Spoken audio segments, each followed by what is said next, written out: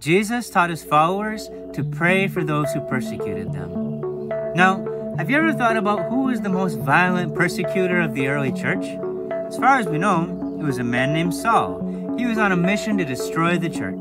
But I wonder how many of Jesus' followers were praying for Saul. Maybe there was a young family who was forced to flee because of Saul's murderous threats, but they were praying for him. Maybe there was a house church.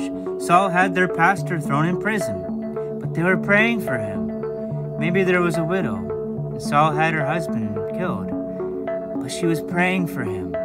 I don't know who all was praying for Saul, but I know that God heard their prayers, and the terrorist Saul became the Apostle Paul. So, if you're facing persecution, I just want to encourage you to keep praying for those who persecute you.